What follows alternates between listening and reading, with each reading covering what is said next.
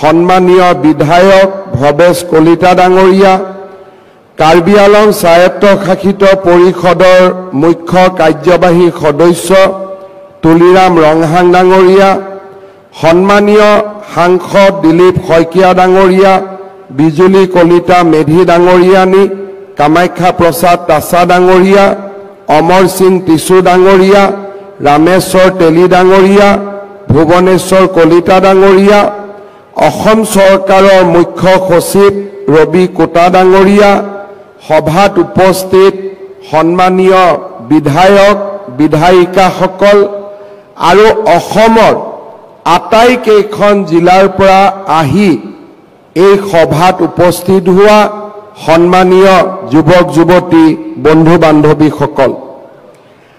যোৱা বছৰ তেইছ ছেপ্টেম্বৰ তাৰিখে আমি অসমত মুখ্যমন্ত্ৰীৰ আত্মনিৰ্ভৰ অসম অভিযান আৰম্ভ কৰিছিলোঁ। আপোনালোকৰ মনত আছে দুই হাজাৰ একৈছ চনত ভাৰতীয় জনতা পাৰ্টী আৰু আমাৰ মিত্ৰ দলে যেতিয়া নিৰ্বাচনৰ মাজলৈ আমি গৈছিলোঁ তেতিয়া অসমৰ ৰাইজক আমি দুটা প্ৰতিশ্ৰুতি দিছিলোঁ যে এক লাখ চৰকাৰী চাকৰি আমি নিয়োগ কৰিম। আৰু দ্বিতীয়তে দুই লাখ যুৱক যুৱতীক আমি আত্মসংস্থাপনৰ পথ দেখুৱাম। আজি আপোনালোকে দেখা পাইছে যে চাওঁতে চাওঁতে এক লাখ নিযুক্তিৰ পৰিৱৰ্তে আজি আমি ইতিমধ্যে এক লাখ চল্লিছ হাজাৰ নিযুক্তি সম্পন্ন কৰিছোঁ আৰু দুই লাখ নিযুক্তিৰ ফালে আজি আমি ধাৱমান হৈছোঁ। যোৱা কেইটামান দিনত A D R Assam direct recruitment examination শিক্ষকৰ নিযুক্তি আৰু বৰ্তমান অসমৰ প্ৰত্যেকখন জিলাতে চলি থকা আৰক্ষীৰ নিযুক্তিৰ প্ৰক্ৰিয়া আদিয়ে অসমৰ যুৱক যুৱতীৰ মাজত এটা ভাবিব নোৱাৰা আত্মবিশ্বাস আনি দিছে। আজি অসমত এঘাৰ লাখ যুৱক যুৱতীয়ে একেলগে পৰীক্ষা দিয়ে আৰু প্ৰত্যেকজন যুৱক যুৱতীয়ে এটা কথা অন্তত মনত দৃঢ়ভাৱে প্ৰতিপন্ন কৰি লৈছে যে নিযুক্তি স্বচ্ছ হ'ব আৰু এই নিযুক্তিত কোনেও এটকা নোখোৱাকৈ নিযুক্তি হ'ব তেনেকুৱা আজি আত্মবিশ্বাস অসমৰ যুৱক যুৱতীৰ মাজত গঢ়ি উঠিছে। আজিৰ পৰা যদি দহ বছৰ আগলৈ অসমত দীৰ্ঘকালীন যেতিয়া কংগ্ৰেছৰ শাসন চলিছিল কোনো ল'ৰাৰ মনত ছোৱালীৰ মনত এই কথা বিশ্বাস নাছিল যে আমি চৰকাৰী চাকৰিত টকা নিদিয়াকৈ চৰকাৰী চাকৰি পাম। কোনেও বিশ্বাস কৰিব পৰা নাছিল। আৰু চাওঁতে চাওঁতে সৰু এটা চাকৰিৰ বাবে টকা দিয়া ঘোষ দিয়াৰ পৰিমাণ এক কোটি টকালৈকে বৃদ্ধি পাইছিল। কংগ্ৰেছৰ দিনত এ পি এছ চিত এনেকুৱা ব্যক্তিক অধ্যক্ষ কৰি দিয়া হৈছিল যে যাৰ জীৱনত এটাই মাত্ৰ ব্ৰত আছিল যে নিবনুৱা ল'ৰা ছোৱালীৰ পৰা কেনেকে টকা লুণ্ঠন কৰিব পাৰি কেনেকৈ ধন লুণ্ঠন কৰিব পাৰি। আৰু এনেকুৱা এটা পৰিৱেশ আছিল যে অংগনবাদীৰ কৰ্মী আশা কৰ্মী নিযুক্তি দিবৰ বাবেও ধনৰ লেনদেন হৈছিল। আজি আমি সেইখন অসম এটা যুগৰ পৰা আন এটা যুগলৈ পৰিৱৰ্তনৰ বাবে কাম কৰিছোঁ। কংগ্ৰেছৰ দিনত থকা পংকিলতাক আঁতৰাই আজি আমি স্বচ্ছতাৰ এটা নতুন দিগন্তলৈ গতি কৰিছোঁ। কোনোবাই সুধিছে যে আমাক প্ৰশ্ন কাকতখন ঘৰত আনিব দিব লাগে। আমি কৈছো ঘৰলৈকে লৈ যাওক। কোনোবাই কৈছে যে আমাক অ' এম আৰ চিটখন চাব দিব লাগে। আমি কৈছো সেইখনো লৈ যাওক। ক'তো কোনোবাই কৈছে যে প্ৰশ্নৰ উত্তৰ কেইটা আপোনালোকে এনচাৰ কিটো ঠিক কৰি বনাইছে নে নাই তাকো আমি চাব খুজিছো। আমি কৈছো সেইটোও চাই লওক। স্বচ্ছতাৰ এটা নতুন দিগন্তলৈ আমি গতি কৰিছোঁ। আজি অসমৰ যুৱক যুৱতীৰ মাজত এটা ভাবিব নোৱাৰা আত্মবিশ্বাস আহি পৰিছে। ঋণাত্মক পৰিৱেশবিলাক সলনি হৈছে আৰু লাহে লাহে এটা আন্দোলন বিবৰ্জিত পৰিৱেশত আমাৰ ৰাজ্যখনলৈ স্থায়ী শান্তি আৰু বিকাশৰ ধাৰা উভতি আহিছে। মই তিনি বছৰ আগতে এই খেলপথাৰত যেতিয়া স্বাধীনতা দিৱসৰ পতাকা উত্তোলন কৰিছিলোঁ তেতিয়া মই ৰাইজক এটাই আহ্বান জনাইছিলোঁ যে আমাক এটা আন্দোলন বিবৰ্জিত পৰিৱেশ দিয়ক। আমি অসমত এক নতুন দিগন্তলৈ লৈ যাম। আজি আপোনালোকে দেখিছে ৰাজহুৱা খণ্ডত নিযুক্তি হওক অসমত উদ্যোগীকৰণৰ বাতাবৰণ হওক বা আত্মনিৰ্ভৰ অসমৰ ফালে এক নতুন যাত্ৰা সোণসেৰীয়া যাত্ৰা আমি আটাইবিলাকতে আজি সফল হ'ব পাৰিছোঁ। মই নিজেও গম পোৱা নাছিলোঁ যে আমি কিমান সফল হৈছোঁ। যোৱা পৰহি দিনাখন অসমৰ জাগিৰোডত ছেমি কণ্ডাক্টৰ ইণ্ডাষ্ট্ৰী আমি আনিছিলোঁ। ময়ো গম পোৱা নাছিলোঁ যে কিমান ডাঙৰ ইণ্ডাষ্ট্ৰী আমি অসমত আনিছিলোঁ। কিন্তু যোৱা পৰহি যেতিয়া কৰ্ণাটকৰ মন্ত্ৰী এজনে কান্দিব আৰম্ভ কৰিলে যে কৰ্ণাটকৰ পৰিৱৰ্তে অসমত কিয় এই উদ্যোগ গ'ল তেতিয়া মই বুজি পালো যে অসমে আজি এক নতুন দিগন্তলৈ গতি কৰিছে আৰু কৰ্ণাটকৰ দৰে ৰাজ্যয়ো আজি অসমৰ সফলতাত ঈৰ্ষান্বিত হ'বলগীয়া হৈছে। তাতকৈ মোৰ জীৱনত আন ডাঙৰ প্ৰাপ্তি আন একোৱেই হ'ব নোৱাৰে তাক মই বিশ্বাস কৰোঁ। আজি আমি ইমান দিনে অভিযোগ কৰিছিলোঁ যে কৰ্ণাটকত উদ্যোগীকৰণ হৈছে অসমত কিয় উদ্যোগীকৰণ হোৱা নাই? আজি কৰ্ণাটকত কৰ্ণাটকৰ মন্ত্ৰীয়ে আজি ৰাজহুৱাভাৱে কান্দিব আৰম্ভ কৰিছে যে অসমত কিয় উদ্যোগ হৈছে কৰ্ণাটকত কিয় উদ্যোগ হোৱা নাই তাতকৈ ডাঙৰ চাৰ্টিফিকেট কিজানি আন কোনেও দিব নোৱাৰে যি ডাঙৰ প্ৰমাণ পত্ৰ কংগ্ৰেছৰ মন্ত্ৰীজনে আমাক দি থৈ গ'ল কৰ্ণাটকৰ মন্ত্ৰীজনে আমাক দি থৈ গ'ল। শ্ৰদ্ধাৰ যুৱক যুৱতী বন্ধু বান্ধৱীসকল মই যেতিয়া অসমৰ আন ৰাজ্যবিলাকত গৈ কওঁ যে আমি এনেকুৱা এটা স্কীম আৰম্ভ কৰিছোঁ যে ল'ৰা ছোৱালীক আমি নিজৰ ভৰিৰ ওপৰত নিজে থিয় হ'বলৈ দুই লাখকৈ টকা দিম। কোনো মৰ্টগেজ নলওঁ কোনো কাগজ নলওঁ আৰু আমাক এক লাখ টকা ঘূৰাই দিব কেতিয়া? তিনি বছৰ তেওঁলোকে গেপ দিব। আজি যদি মোৰ দুই লাখ টকা সম্পূৰ্ণ হয় মই তিনি বছৰ এই এক লাখ টকাটো ঘূৰাই দিব নালাগে আৰু তাৰ পিছত আমি পৰৱৰ্তী পাঁচ বছৰত এই টকাখিনি সৰু সৰু ইনষ্টলমেণ্টৰ জৰিয়তে আমি উভতাই দিম। এক লাখ টকা আমি উভতাই দিব নালাগে আৰু বাকী এক লাখ টকা আমি কেতিয়া উভতাই দিয়া সম্পূৰ্ণ কৰিম আঠ বছৰ পিছত। মই যেতিয়া যেনেকে এনেকুৱা ধৰণৰ আঁচনিৰ কথা কওঁ তেতিয়া মানুহে আন চৰকাৰসমূহ আচৰিত হয় ৰাইজ আচৰিত হয়। যোৱাকালি মই হাৰিয়ানাত আছিলোঁ মই এই আঁচনিৰ বিষয়ে কৈছিলোঁ আৰু ৰাইজক মই কৈ আহিছিলোঁ যে আপোনালোকে মোৰ ফেচবুক চাই থাকিব। অহাকালি এঘাৰটা বজাত আমি প্ৰথম পঁচিছ হাজাৰ ল'ৰা ছোৱালীক এই আঁচনিৰ ধন আমি হস্তান্তৰিত কৰিম। বহুতে মোক বিশ্বাস কৰা নাছিলে। কয় বেংকত যাব নালাগে? বোলে নালাগে। কোনো কাগজো দিব নালাগে? বোলে নালাগে। মৰ্টগেজো দিব নালাগে বোলে নালাগে বোলে টকাখিনি যদি ঘূৰাই নিদিয়ে মই কৈছিলো যে অসমৰ যুৱক যুৱতীৰ ওপৰত মোৰ বিশ্বাস আছে তেওঁলোকক আমি যেনেকে কৰিব অনুৰোধ কৰিম তেনেকেই কাম কৰিব। আজি হাৰিয়ানাত বহুত লোকে এই ফাংচন লাইভ চাই আছে। মোক কৈছিলে যে আপুনি সঁচা কৈছে নে কি কৈছে কালি আমি চাম। মই বোলো আপোনালোকে চাই থাকিব। অৰ্থাৎ আজি অসমক লৈ ভাৰতৰ চুকে কোণে আমি আজি গৌৰৱ কৰিব পাৰো যে আমি এখন নতুন অসমৰ ফালে আজি আমি ধাৱমান হৈছো। শ্ৰদ্ধাৰ যুৱক যুৱতী বন্ধু বান্ধৱীসকল আপোনালোক সকলোৱে জানে এই আঁচনিখনৰ বিষয়ে মই আপোনালোকক বহুত দীঘলীয়াকৈ ক'ব নালাগে মাত্ৰ তিনিটা কথা মই ক'ব খুজিছোঁ।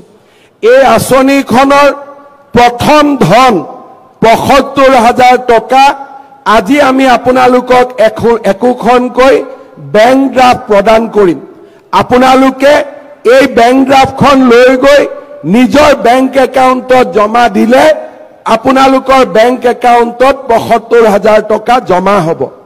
দ্বিতীয়তে এই মাহৰ ভিতৰতে আপোনালোকক আমি তিনিদিনকৈ আমাৰ জিলাসমূহত প্ৰশিক্ষণ কৰোৱাম। ইতিমধ্যে কিছু যুৱকৰ প্ৰশিক্ষণ সম্পূৰ্ণ হৈছে আৰু কিছু যুৱকৰ প্ৰশিক্ষণ বাকী আছে।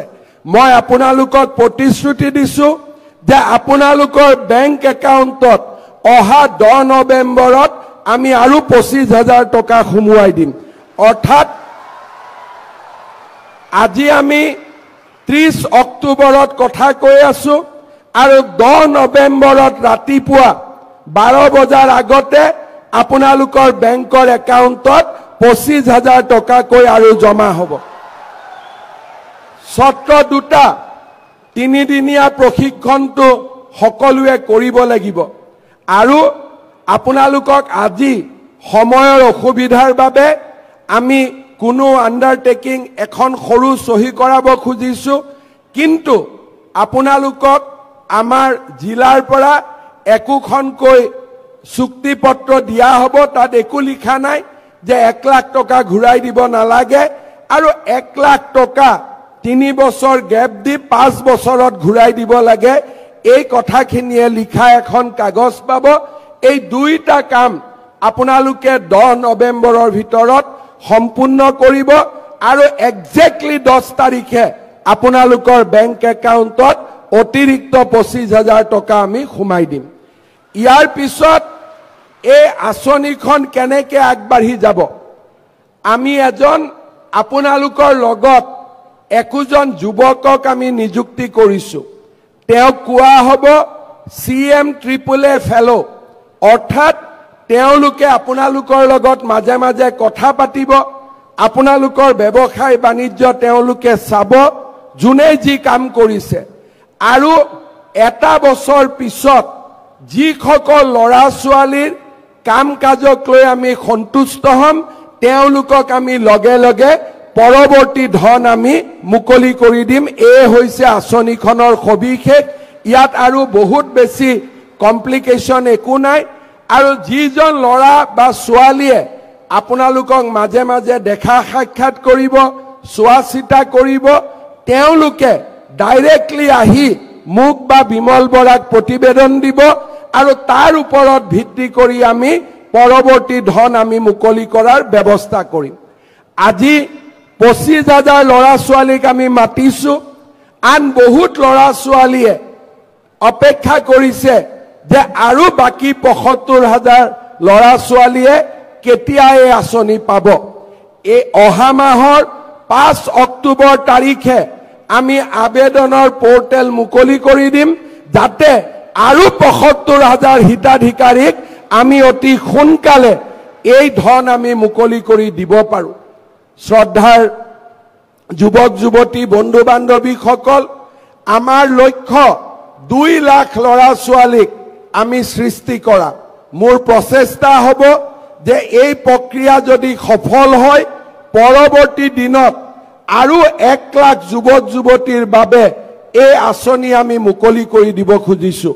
অৰ্থাৎ সৰ্বমুঠ দুই লাখ ল'ৰা ছোৱালীক আমি এই আঁচনিৰ জৰিয়তে আমি আত্মনিৰ্ভৰ অসমৰ ফালে লৈ যোৱাৰ বাবে আমি চেষ্টা কৰিম। শ্ৰদ্ধাৰ যুৱক যুৱতী বন্ধু বান্ধৱীসকল এই আঁচনিখন নিৰ্মাণ কৰোঁতে আৰু এই আঁচনিখন পৰিচালনা কৰোঁতে উদ্যোগ মন্ত্ৰী বিমল বৰা ডাঙৰীয়া মুখ্য সচিব ৰবি কোটা ডাঙৰীয়া আৰু আমাৰ জিলাৰ গোটেই অফিচাৰসকলে যোৱা দুটা মাহত অভূতপূৰ্ব কষ্ট আৰু ত্যাগ স্বীকাৰ কৰি এই আঁচনিখন আজিৰ পৰ্যায়লৈ লৈ আহিছে। মই বিশ্বাস কৰোঁ যে অসম চৰকাৰৰ বিষয়া কৰ্মচাৰীসকলে আজি এক নতুন কৰ্ম সংস্কৃতিৰ ফালে গতি কৰিছে। আৰু এনেকুৱা ধৰণৰ সফলতাই আমাক বিশ্বাস প্ৰদান কৰে যে আমি নিশ্চিতভাৱে এখন নতুন অসমৰ বাবে গতি কৰিছোঁ। মই যুৱক যুৱতীসকলক আৰু এটা কথা ক'ব বিচাৰিছোঁ। প্ৰধানমন্ত্ৰী নৰেন্দ্ৰ মোদী ডাঙৰীয়াই মুদ্ৰা আঁচনিখন আমাৰ দেশৰ যুৱক যুৱতীসকলক উপহাৰ দিছে। এই আঁচনিৰ জৰিয়তে আমি বেংকৰ পৰা বিছ লাখ টকা পৰ্যন্ত আমি ঋণ পাব পাৰোঁ। মোৰ লক্ষ্য হ'ল চৰকাৰে আগবঢ়োৱা দুই লাখ টকাৰ সদব্যৱহাৰ এটা চিভিল স্ক'ৰত আমাৰ সুন্দৰ প্ৰতিফলন আৰু বেংকৰ লগত ধনৰ লেনদেন। এইবিলাকৰ বিষয়ে আমি আপোনালোকক জনাই থাকিম। আমাৰ উদ্দেশ্য হ'ল যে আজি যিসকলে দুই লাখ টকা পাবলৈ সক্ষম হ'ব তেওঁলোকৰ যাত্ৰা দুই লাখ টকাত শেষ হৈ যাব নালাগে। তেওঁলোকে যাতে পৰৱৰ্তী দিনত প্ৰধানমন্ত্ৰী মুদ্ৰা আঁচনিৰ জৰিয়তে বেংকৰ পৰা বিছ লাখ টকালৈকে লোন ল'ব পাৰে। আমাৰ লক্ষ্য হ'ল আপোনালোকক প্ৰধানমন্ত্ৰী মুদ্ৰা আঁচনিলৈ আপোনালোকক প্ৰস্তুত কৰা। মই প্ৰধানমন্ত্ৰী ডাঙৰীয়াৰ লগত এই আঁচনিখনৰ বিষয়ে আলোচনা কৰিছিলোঁ আৰু তেওঁ মোক কৈছে যে যিবিলাক ল'ৰা ছোৱালীয়ে দুই লাখ টকা ভাল কৰি ব্যৱহাৰ কৰিব প্ৰধানমন্ত্ৰী ডাঙৰীয়াক মই কওঁতে তেওঁ মোক কৈছে যে লাগিলে অসমত প্ৰধানমন্ত্ৰী মুদ্ৰা যোজনাৰ যি লক্ষ্য সেই লক্ষ্য মই বঢ়াই দিম যাতে প্ৰতিগৰাকী সফল যুৱক যুৱতীয়ে মুদ্ৰা লোনৰ ভৱিষ্যতৰ দিনত অধিকাৰী হ'ব পাৰে।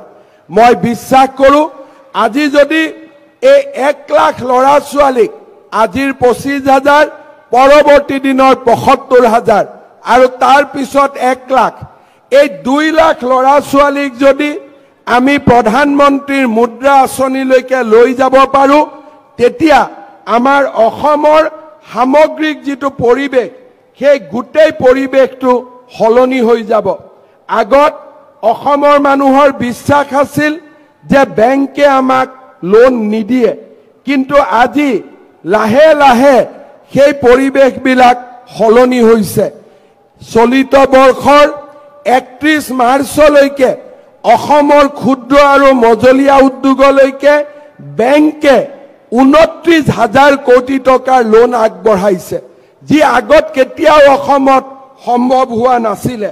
চলিত বছৰৰ একত্ৰিছ মাৰ্চলৈকে যদি ক্ষুদ্ৰ আৰু মজলীয়া উদ্যোগ আৰু ব্যৱসায়ী গোটেইবিলাকক যদি আমি ধৰি লওঁ যোৱা বছৰটোত বেংকে সাতত্ৰিছ হাজাৰ কোটি টকা লোন অসমৰ যুৱক যুৱতী আৰু ব্যৱসায়ীসকললৈকে আগবঢ়াইছে।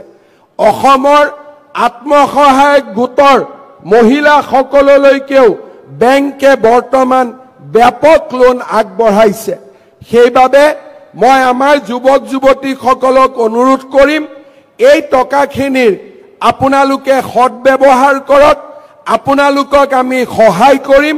ভৱিষ্যতৰ দিনত আপোনালোকে যাতে প্ৰধানমন্ত্ৰী মুদ্ৰা আঁচনিৰ লোন পাব পাৰে তাৰ বাবে আমি আপোনালোকক উপযুক্তভাৱে গঢ়ি তুলিবলৈ চেষ্টা কৰিম। আপোনালোকে মাত্ৰ আমাক সহায় আৰু সহযোগিতা কৰক।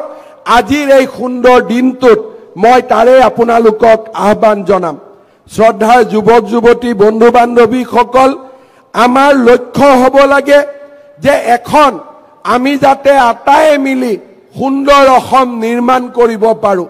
সততে আন্দোলন সততে হতাশা ই কেতিয়াও সমাধানৰ ৰাস্তা হ'ব নোৱাৰে। যি যুৱক যুৱতীৰ মনত আশা থাকে হতাশাই যাক কেতিয়াও আন্ধাৰ কৰিব নোৱাৰে তেনেকুৱা যুৱক যুৱতীয়ে সফল হ'ব পাৰে। জীৱনত ঘাট আৰু প্ৰতিঘাত থাকে কিন্তু সেই ঘাট আৰু প্ৰতিঘাতক যোনে সাহসেৰে পৰাজিত কৰিব পাৰি পাৰে তেওঁৱে সফলতা জীৱনত অৰ্জন কৰিব পাৰে। আজি যদি আমাৰ চাৰিওফালে যিসকল ব্যক্তি সফল হৈছে তেওঁলোকৰ যদি আমি জীৱন এবাৰ অধ্যয়ন কৰোঁ আমি দেখা পাম কোনো এজন যুৱক যুৱতীয়ে সোণৰ চামুচ মুখত লৈ জন্মগ্ৰহণ কৰা নাই। সেইসকল যুৱক যুৱতীয়েহে সফল হৈছে যোনে জীৱনক সংগ্ৰাম বুলি স্বীকাৰ কৰিছে যে এই জীৱনত মই পিতৃ মাতৃৰ কোলাত জন্ম হোৱাৰ দিনৰ পৰা মই সংগ্ৰাম কৰিছো আৰু জীৱনৰ শেষ মুহূৰ্তলৈকে মই সংগ্ৰাম কৰিম আৰু সংগ্ৰামক মই ভয় নকৰো। তেনেকুৱা যুৱক যুৱতীয়েহে আকাশ চুব পাৰে তাক মই বিশ্বাস কৰোঁ। আৰু সেইবাবে মই যুৱক যুৱতীসকলক আহ্বান জনাম যে আপোনালোকে কেতিয়াও সংগ্ৰামক ভয় নকৰিব পৰাজয়ক ভয় নকৰিব কাৰণ এটা পৰাজয়েহে ভৱিষ্যতৰ জয়ৰ পৃষ্ঠভূমি তৈয়াৰ কৰে। যি ল'ৰা ছোৱালীয়ে জীৱনত এবাৰ পৰাজয় হয় আৰু পৰাজয় যোনে গ্ৰহণ কৰিব নোখোজে পৰাজয়ক বিজয়লৈকে পৰিৱৰ্তন কৰিব খোজে তেনেকুৱা যুৱক যুৱতীয়ে নিশ্চিতভাৱে সফল হয় তাৰ অযুত উদাহৰণ আমাৰ চাৰিওফালে বিয়পি আছে। মই আপোনালোকক অনুৰোধ কৰিম যে আমাৰ জীৱনত গোটেই সমস্ত জীৱনৰ সংগ্ৰামক আমি জয়লাভ কৰিব পাৰিম। যেতিয়া আমাৰ মনত সাহস থাকে আৰু কিবা এটা কৰাৰ সপোন থাকে। এছাম অসমত ব্যক্তি আছে যোনে আমাক সততে নিৰাশাৰ কথা কয়। নিৰাশাৰ এই বাতাবৰণৰ লগত আমি যুদ্ধ কৰিব লাগিব। কাৰণ নিৰাশাই আমাক পিছুৱাই লৈ যায়। নিৰাশাই আমাক পৰাজিত কৰে। আমাৰ অসমত এনেকুৱা কোনো সমস্যা নাই। যাক আমি একেলগে সেই সমস্যাক আমি সমাধান কৰিব নোৱাৰো। কোনে ভাবিছিল যে ডেৰ লাখ ল'ৰা ছোৱালীয়ে চাকৰি পাব এটকাও ঘোচ দিব নালাগে যোৱা দহ বছৰ আগলৈকে এনেকুৱা কোনেও কল্পনাও কৰিব পৰা নাছিল। প্ৰতিটো নভবা কাম আজি আমি লাহে লাহে আগবাঢ়ি গৈ সফল কৰিব পাৰো। মাত্ৰ আমি জীৱন যুদ্ধত জিকিবৰ বাবে আমাৰ মনত সাহস আৰু আমাৰ মনত অযুত সপোনৰ আমি সৃষ্টি কৰিব লাগে।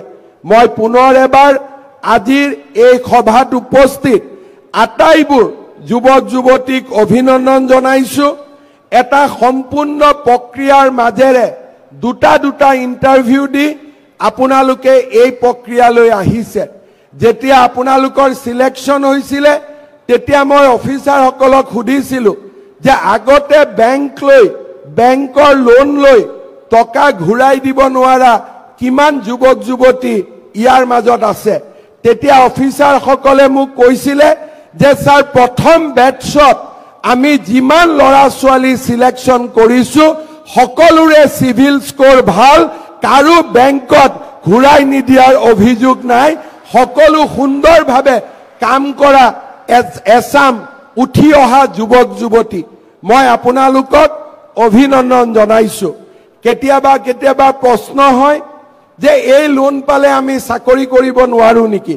মই এটাই কথা ক'ম যে এই লোন ল'লেও চাকৰিৰ বাবে আমি আবেদন কৰিব পাৰো তাত কোনো অসুবিধা নাই।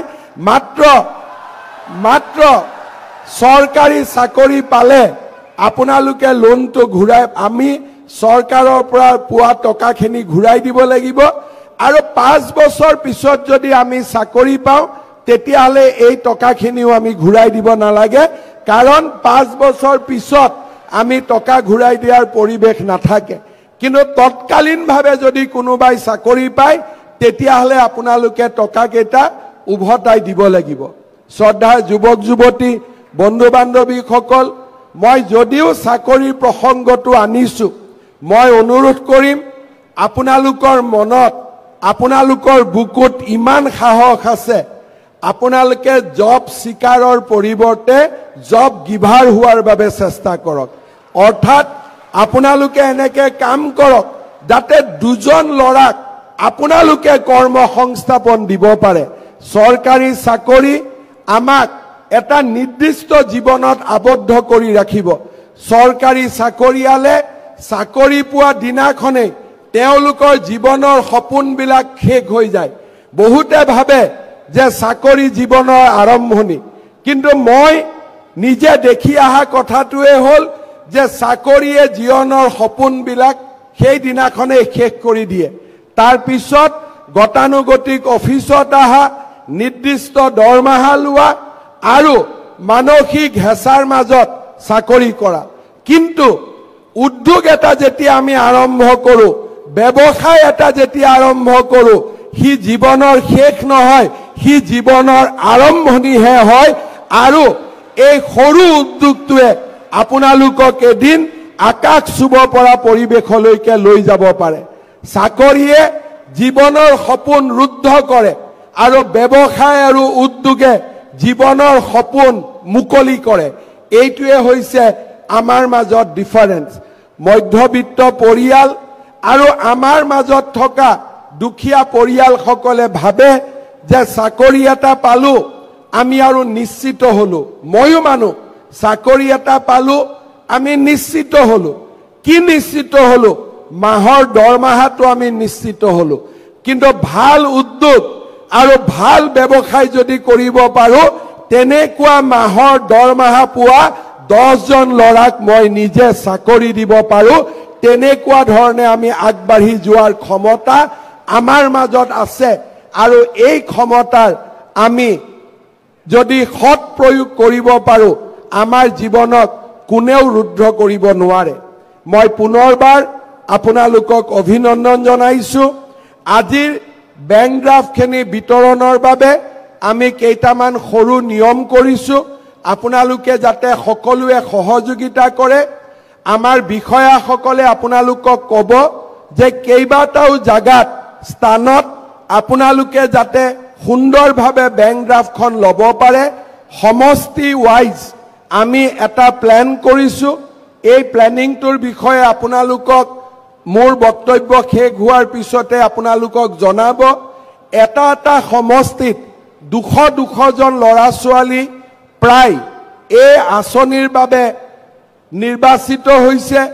দুশজন ল'ৰাই লাইন পাতি বেংক ড্ৰাফ্ট লৈ চহী কৰোঁতে যদি তিন মিনিটকৈ লাগে আমাক ছশ মিনিটৰ প্ৰয়োজন হ'ব। অৰ্থাৎ পাঁচ ছয় ঘণ্টাৰ আমাৰ প্ৰয়োজন হ'ব ক'ৰবাত ক'ৰবাত তিনি চাৰি ঘণ্টাৰ প্ৰয়োজন হ'ব।